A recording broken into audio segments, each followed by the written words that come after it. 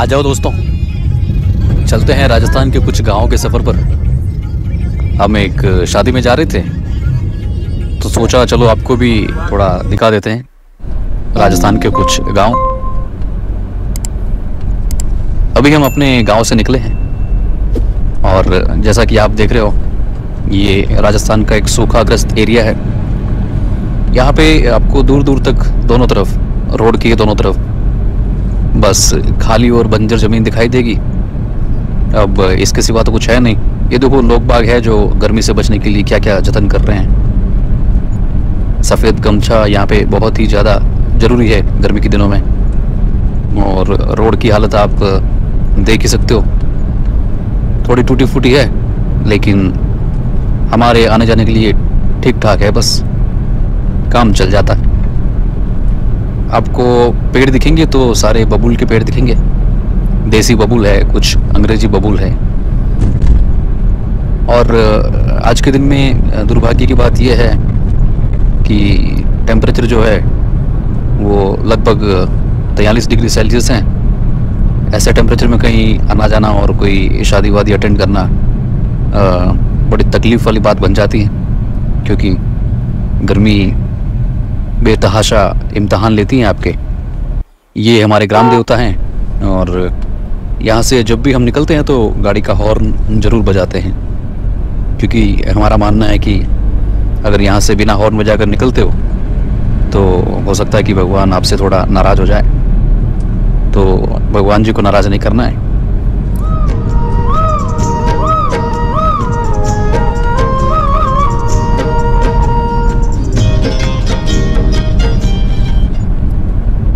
दोस्तों अभी हम अपने गाँव से निकलकर एक दूसरे गाँव में पहुँच चुके हैं। इस गाँव में एक बावड़ी है, प्राचीन बावड़ी, जिसका वीडियो हमने बहुत पहले बना रखा है। उसका लिंक मैं आपको दे दूँगा तो आप देख सकते हैं वो वीडियो भी।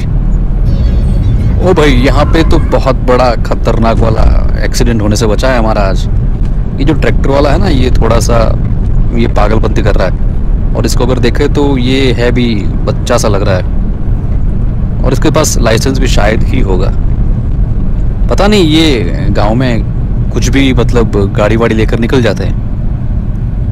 हम तो भाई बाल बाल बचे आज। कोई नहीं, ये बस ज़िंदगी है, चलती रहती है। सफ़र जारी रहना चाहिए।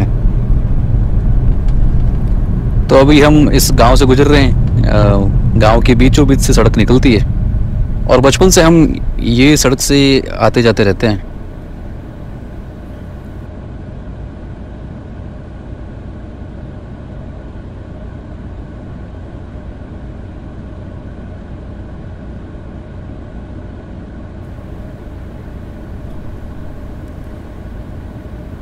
पहले के ज़माने में यहाँ पे ये जो सेलफोन के टावर है, वो नहीं हुआ करते थे। और अब तो हर गाँव में ये कंपलसरी बन चुके हैं। इसके बिना तो जीवन की कल्पना ही नहीं की जा सकती। तो अभी हमारी गाड़ी चल पड़ी है आगे की ओर। अभी भी हम उसी रोड पर चल रहे हैं, जो गाँव को गाँव से जोड़ने वाली लिंक रोड है। ये ये माँ जगदम्बे का मंदिर है और इसके बारे में बहुत सारी कहानियाँ भी प्रचलित है। कि यहाँ पे देवी ने किसी भावी को दर्शन दिए थे। और बहुत सारी कहानियाँ इसके बारे में।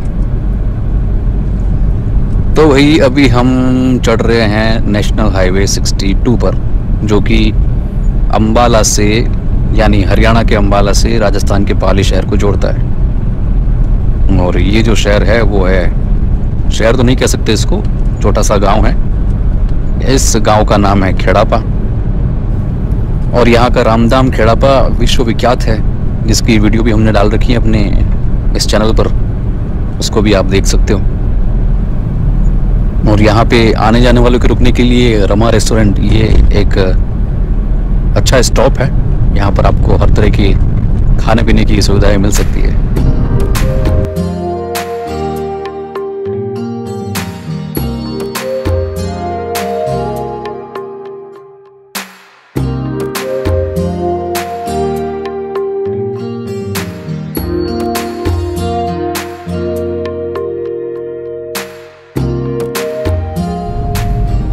एक बस पड़ी है। ये काफ़ी लंबे समय से यहीं पर पड़ी है। शायद ये किसी एक्सीडेंट में या फिर किसी और वजह से यहाँ पे पुलिस वालों ने जब्त कर लिया था और उसके बाद से यहीं पर पड़ी है। और दोस्तों, हमको जाना है भोपालगढ़। भोपालगढ़ जाने का ये रास्ता राइट वाला रास्ता है, जो रामधाम खेड़ापा की आके से निकलता है। लेकिन आज हम यहाँ से नहीं निकलने वाले हैं, क्योंकि वो साइड पर रोड बन रही है। नई स्टेट हाईवे बन रही है तो वहाँ पे अभी जो कार्य है वो प्रगति पर है। तो उतना आसान रहता नहीं है अपना व्हीकल लेकर जाना। तो हम जा रहे हैं एक दूसरे रास्ते से।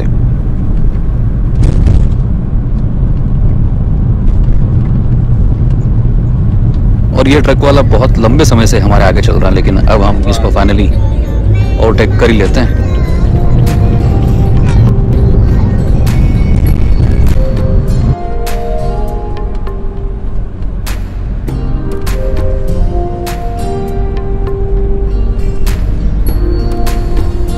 राजस्थान रोडवेज़ की बसेस यहाँ पे काफ़ी चलती रहती हैं। हर 10-15 मिनट में आपको दिखी जाएगी। और अभी हम एन एच को छोड़ देंगे और यहाँ से हम पालड़ी, रणावता होकर अपने गंतव्य भोपालगढ़ की तरफ़ बढ़ जाएँगे। दोस्तों, आपने भोपालगढ़ का नाम तो कभी ना कभी, कहीं ना कहीं सुना ही होगा। काफ़ी लोग ये समझ लेते हैं कि ये एमपी में तो नहीं है। जैसे भोपाल बोलते हैं, लेकिन यहाँ पर एक गढ़ है, यानी दुर्ग है, किला है, जो कि राजा भोपाल सिंह जी के नाम पर बनाया गया है। तो इसलिए इस शहर का नाम भी भोपालगढ़ रखा हुआ है। राजस्थान में मुख्यतः तो यहाँ पे आपको कैंपर जो है, महिंद्रा की, वो देखने को मिल जाती है। लोग बाग यहाँ पे जो ग्रामीण हैं, वो कैंपर रखना प्रीफर करते हैं, क्योंकि उनके आने जाने के साथ लोडिंग का काम भी हो जाता है।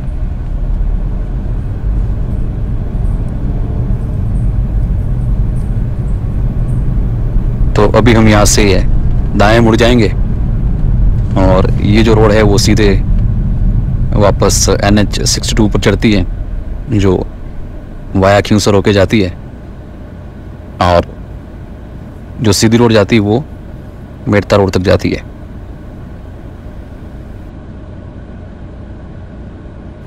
तो अभी हम अपने गंतव्य के और नज़दीक चले जा रहे हैं। ये पीपाड़ सिटी और गोपालगढ़ की मुख्य हाईवे है स्टेट हाईवे कहते हैं इसको।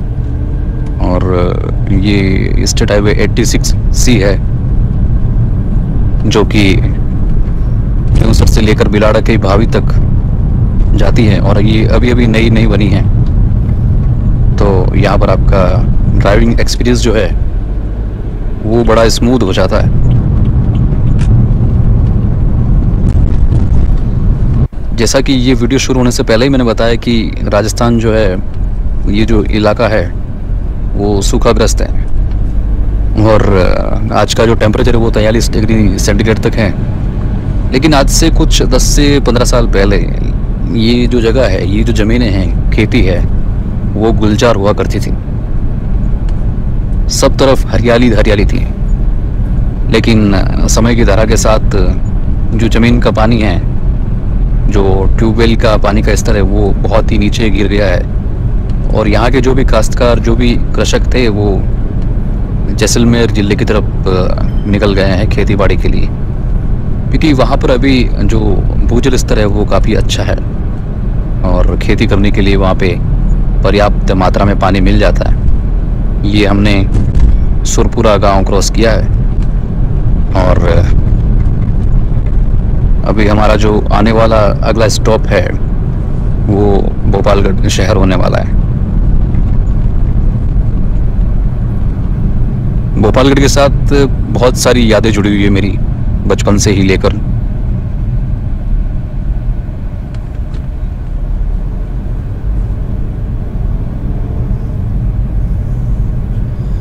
और जैसा कि मैंने बताया कि हम शादी में जा रहे हैं तो शादियों वाला माहौल है।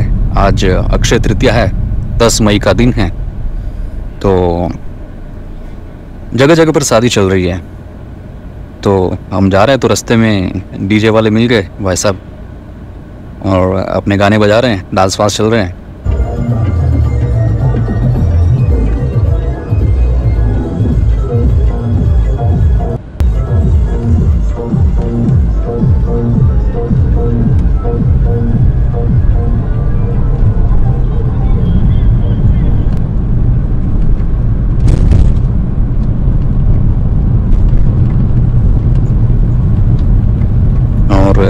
मंदिर है, ये बोरिया बाबा के नाम से जाना जाता है।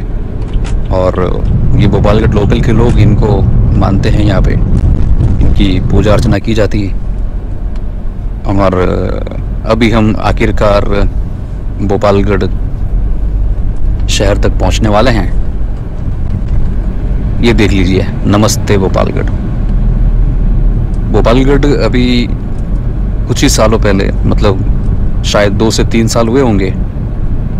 पंचायत, ग्राम पंचायत थी अब नगर पालिका बन चुकी है तो यहाँ पर शहरी सुविधाएँ काफ़ी मात्रा में बढ़ गई हैं। साफ़ सफ़ाई को लेकर या फिर जो भी ये विज्ञापन की होर्डिंग है, वो सब भोपालगढ़ में भी अब दिखने लगे हैं। और ये अच्छा भी है नगर पालिका बनने से यहाँ के लोगों का जीवन स्तर है वो काफ़ी कुछ बदल गया है। जब मैं यहाँ पे रहता था पहले तो ये तो बिल्कुल गाँव हुआ करता था। अभी जैसा लगता है कि कोई शहर में एंट्री कर रहे हैं। ये जो दिख रहा है आपको, ये है भोपालगढ़ का किला। और इसके बारे में कई बहुत सारी कहानियाँ प्रचलित हैं। कहता है कि ये हॉन्टेड है। यहाँ पे ये बंद ही रहता है। लोग बाग इसके अंदर जाते नहीं हैं। मैंने तो आज से मतलब लगभग 20 साल हो गए किसी को यहाँ इसके अंदर या आसपास ऊपर तक जाते हुए देखा नहीं। है और ये आ गया है तहसील वाला रोड। यहाँ पे जितने भी सरकारी कार्यालय हैं, चाहे वो तहसील हो, हॉस्पिटल हो, या पुलिस थाना हो, या कोऑपरेटिव बैंक्स हो, वो सब इसी जगह पर हैं।